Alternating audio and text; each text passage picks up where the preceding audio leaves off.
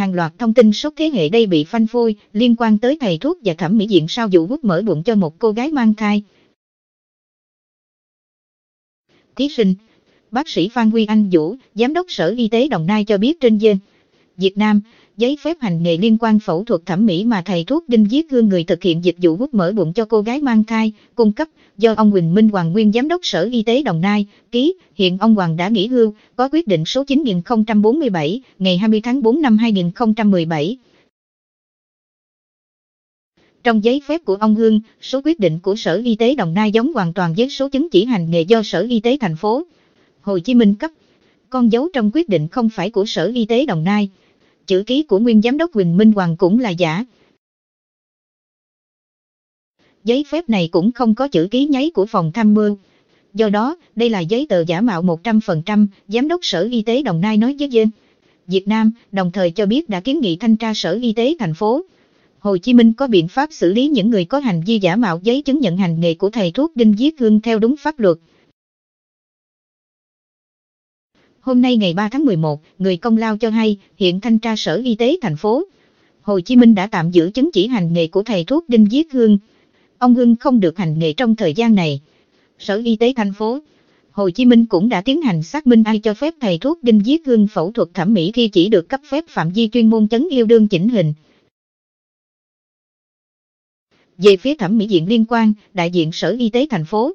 Hồ Chí Minh thông tin với Tiền Phong, sau khi kiểm tra thẩm mỹ viện Sophie International đường Hoàng Sa, phường Tân Định, quận 1, thành phố Hồ Chí Minh, đơn vị phát hiện nơi này không có giấy phép hoạt động nên đã ra quyết định đình chỉ cơ sở này. Hiện toàn bộ đại dương sơ giấy tờ của hai thẩm mỹ viện liên quan đến vụ việc đã được niêm phong, đợi thành lập hội đồng chuyên môn đánh giá, đưa ra kết luận về vụ việc, người đại diện sở nói với Tiền Phong, ở câu truyện đưa trước đó, cô gái đờ, tờ, đờ, à, 28 tuổi, ngụ tại Hà Nội, đến thẩm mỹ viện Sophie International 253A Hoàng Sa, phường Tân Định, quận 1, tư vấn dịch vụ hút mỡ bụng, sau đó A, được đưa đến bệnh viện thẩm mỹ em các đường Hoàng Cương Dư, quận 10, thành phố Hồ Chí Minh, làm phẫu thuật. Người thực hiện dịch vụ cho chị N. A, là thầy thuốc Đinh Viết Hương. Sau ca phẫu thuật trở về Hà Nội, chị N. À, có dấu hiệu đau, khó chịu, đi kiểm tra thì ngỡ ngàng phát hiện mình mang thai 8 tuần. Theo đó, ở thời điểm được làm phẫu thuật thì chị mang thai 4 tuần. Ngay trước sự việc của chị N. À, thầy thuốc Đinh Viết Hương là người thực hiện ca phẫu thuật nâng ngực cho một đàn bà 33 tuổi ngày 17 tháng 10. Khuya ngày hôm đó, đàn bà này tử vong, nhà chức trách đã niêm phong bệnh án để phục vụ việc điều tra luật sư Bùi Quốc Tuấn đoàn thành phố Hồ Chí Minh, phân tích trên thanh niên, nếu cơ quan chức năng xác định giấy tờ liên quan của thầy thuốc Đinh Viết Hương là giả mạo thì hành vi của thầy thuốc Hương đã xâm phạm đến trật tự quản lý hành chính của cơ quan nhà nước.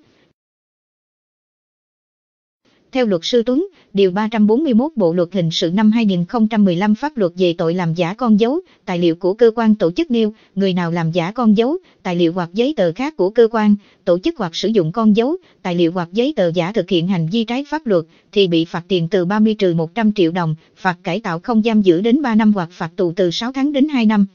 mức phạt tù có thể lên đến 7 năm nếu người lỗi lầm sử dụng con dấu, tài liệu hoặc giấy tờ khác thực hiện tội phạm rất nghiêm trọng hoặc tội phạm nghiêm trọng hoặc tội phạm đặc biệt nghiêm trọng như làm chết người.